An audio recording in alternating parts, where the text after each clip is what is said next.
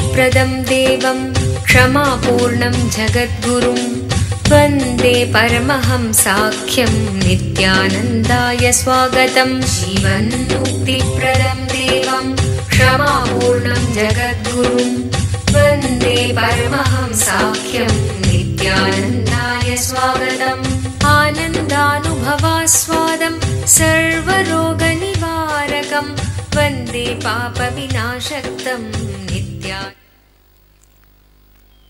सदाशिवसमारम्भाम् ज्ञानसम्बन्धमध्यमाम् अस्मदाचार्यपर्यन्तां वन्दे गुरुपरम्पराम्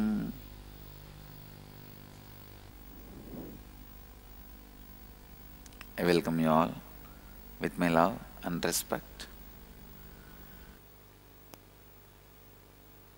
We will work step by step with each of these energy centers, chakras, today and tomorrow.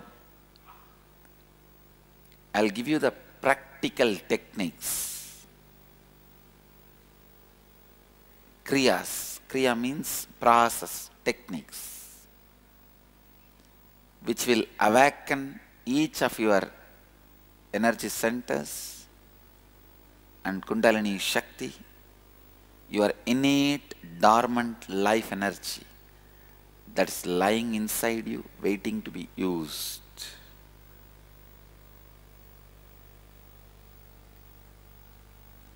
So, first I will enter into the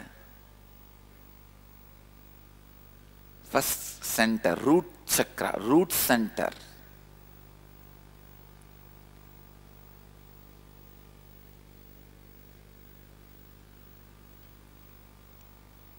The first principle you need to learn, tattva is integrity. Please understand.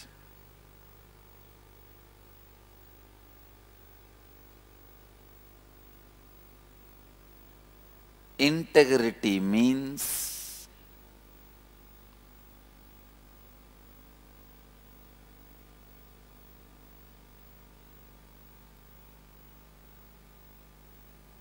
making every commitment you give for you and others as reality even by giving your life. Please listen. Listen. Integrity is not morality.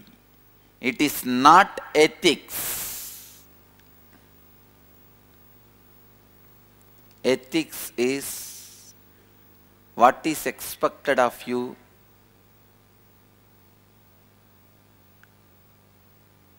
From the society you are living?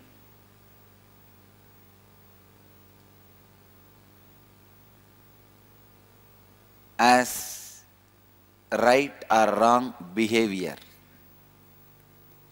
Again, morality is certain expectations of the society which changes from country to country, society to society. Integrity is not ethics, it is not morality. I am not saying don't be moral, don't be ethical. I am not saying be ethical, be moral.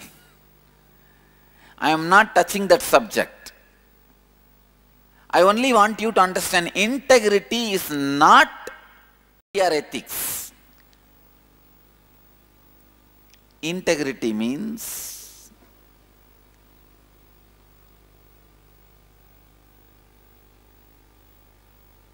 being authentic to the words you give for yourself and to others. Listen. The words you give it to you, let me define integrity. Integrity is you fulfilling the word and thought you give it to yourself and others and experiencing a state of purnatva, completion, is integrity. Listen. Integrity is you fulfilling the word and thought you give it to yourself and to others and experiencing a state of purnatva, completion with yourself and with life.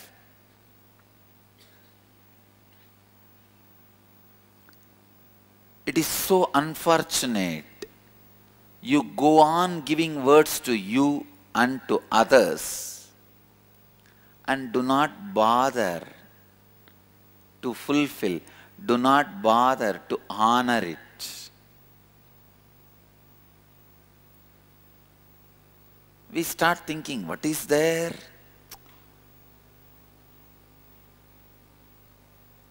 What is the evidence for the word I gave it for myself and for others? If I don't fulfill, what is there? Nothing wrong. You can run your life like a mom shop, pop shop. You can live without integrity, no doubt. But you will be living only that way.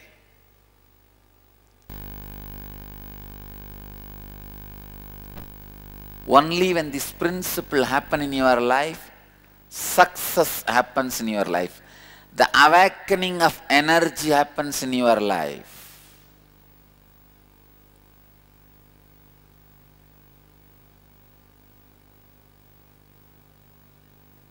Please understand, listen.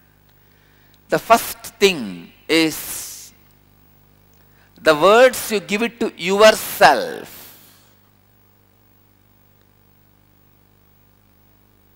Whenever you don't fulfill, complete the words you give it to yourself, there will be a deep disrespect to you and you won't have confidence over yourself.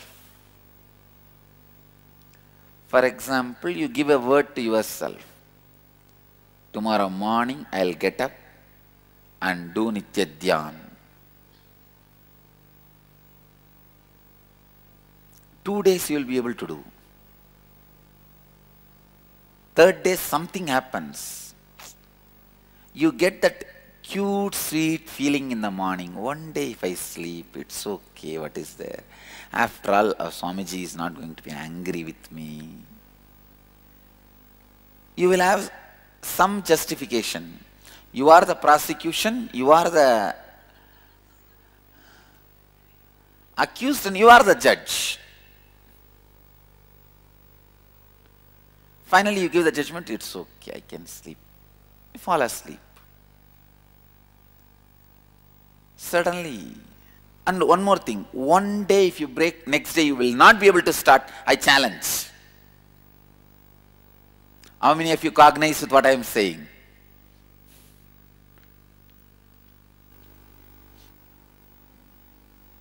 One day if you break, you will not be able to start next day. And time goes, after a week, when you, while you are changing the channel, suddenly you see one of my satsang. And no, I have to, I have to do this. From tomorrow I am going to do the Nitya Dhyan.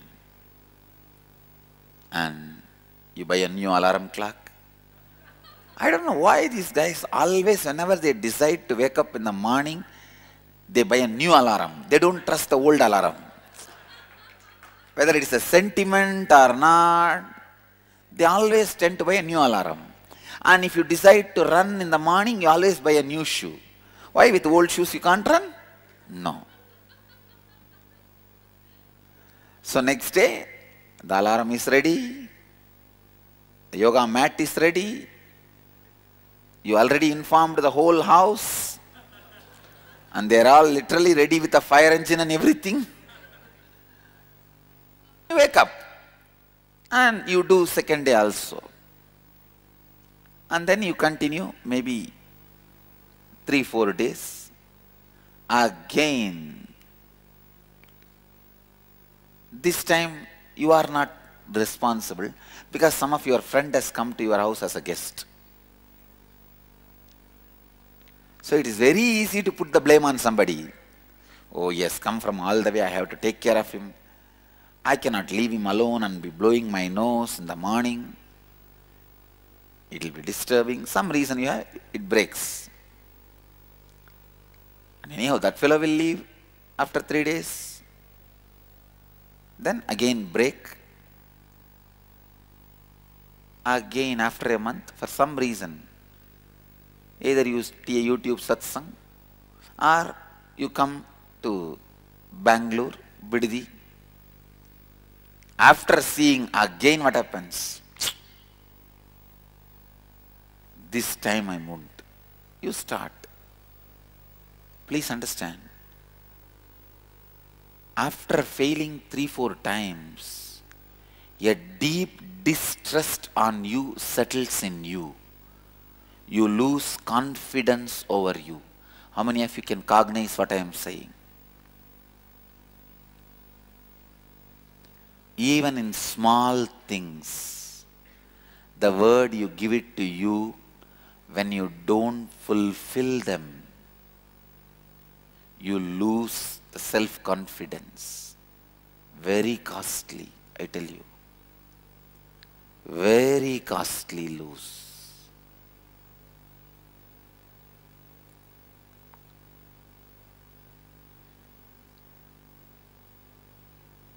If you are given a word to you that you will become a doctor and you don't fulfill, you will never be able to regain confidence over you. The word you give it to you, if you don't honor, you will lose confidence over you. The word you give it to others, if you don't honor, others will lose confidence over you. Honoring the word you give it to yourself and to others is integrity. For example, you tell somebody you will give them 1 lakh rupee, honor it by giving your life. That is integrity. If you can't honor, tell them very clearly, I will not be able to fulfill, I committed with you, but I can't fulfill. Please, you plan for something else, plan B. You go for plan B. You go for next plan. I will not be able to fulfill. Even if you tell them, it is integrity. Understand? If you complete with them saying, I committed with you, but now I am telling you, I am not able to fulfill the commitment. So now I free from you, free you from my word, and free me from my word. I free you and me from this commitment. Even that is integrity. All of you understand? So that you don't make a mess in their life. You don't create a mess in their life. They are not there waiting for your word.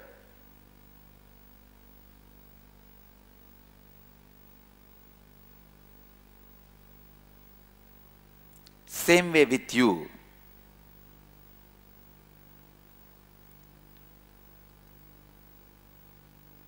Give word to yourself only what you can fulfill. Don't think, eh, at least the word I have given to others, there is evidence, witness. The word I gave it to me, what is the witness? What is there? It's after all for me, it's okay. No.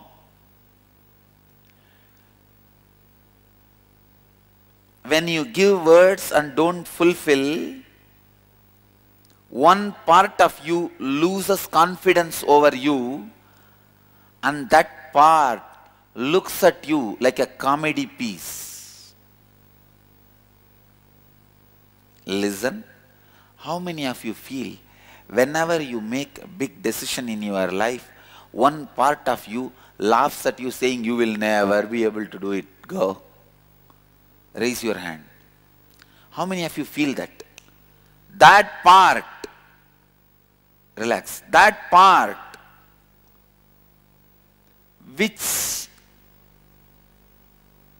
is wounded by your continuous words and not fulfilling, that part only is laughing at you. There will always be a deep hangover in you if you have given words to you and did not fulfill it. Even if you are not able to fulfill it, it's okay. At least complete it by freeing yourself from that commitment. For example, if you constantly give word to you that I will become doctor, I will become doctor, finally you ended up in being engineer.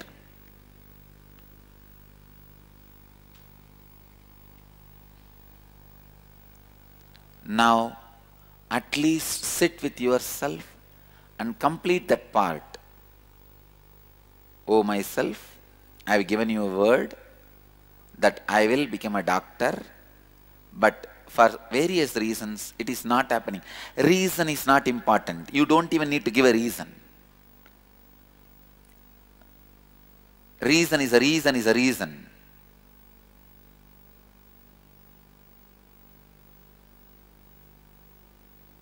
Reason is not important. But if you sit with you and tell yourself, I am not going to become doctor, so I complete myself from this word and I liberate myself from this commitment. Please remember, I am not going to become doctor. I am completing the word I have given you. I tell you, you will become integrated, become one, a whole. As on now, you are just a whole, H-O-L-E. You will become whole, W-H-O-L-E.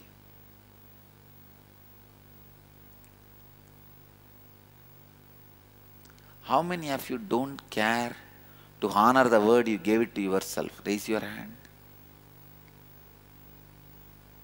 It is. This is where the problem starts. And we don't even think the words given to us need to be honored. Then what happens, you know, by and by, you start thinking in a very unconscious way. Very unconscious way. You plan for something. You just don't even remember to execute it.